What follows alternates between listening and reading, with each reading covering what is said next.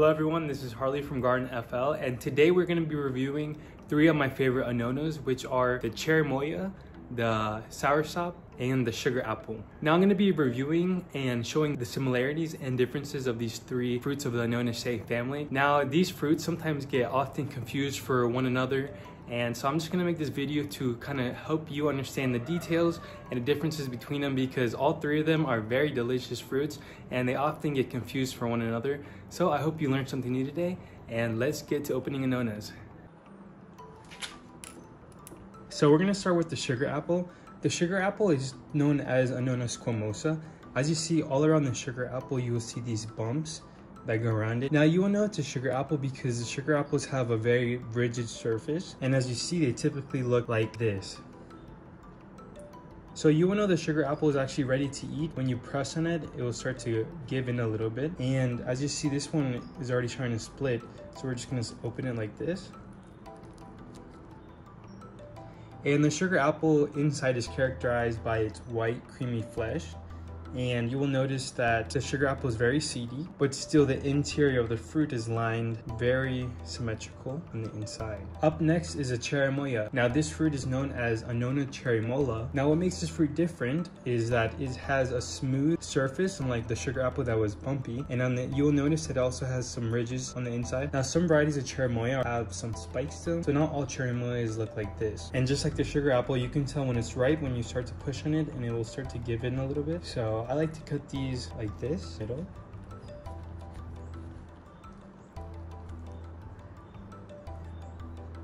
So you could tell it's cherimoya on the inside by telling how smooth the inside is. It's not all kind of seedy like the sugar apple was. As you see, the insides of these fruits are, are completely different. One is more uniform and stays together, which is a cherimoya. And then the sugar apple kind of comes apart in segments as you eat it. So next up is a soursop, which is known as Annona muricata. Here in Colombia, we call them guanabana. But as you see, the guanabana usually gets very much larger compared to the cherimoya and then the sugar apple as you see, is just Goliath compared to it.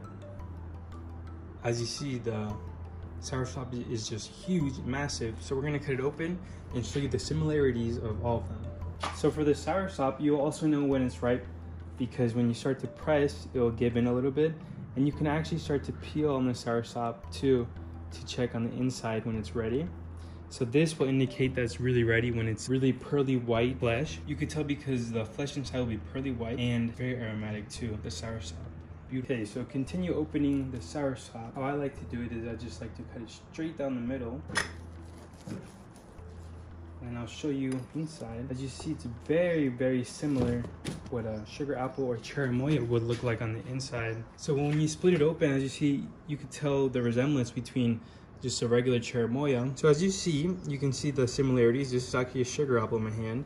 As you can see how the seeds are aligned along and in the center of the fruit. And then the same thing with the cherimoya. This cherimoya I didn't cut as clean, but as you see, they all have their similarities, kind of pointing them to the Annonaceae family. Oof. And I really love guanabana. Guanabana is probably one of my favorites. I love sugar apple too, but this fruit is just so healthy for you. I want to show you the seeds.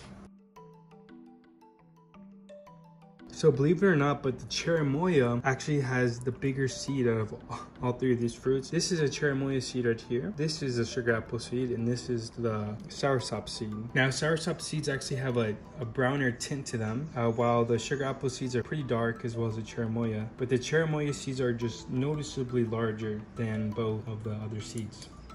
So thank you guys so much for watching this comparison video of the Annonas, the sugar apple, cherimoya, and soursop.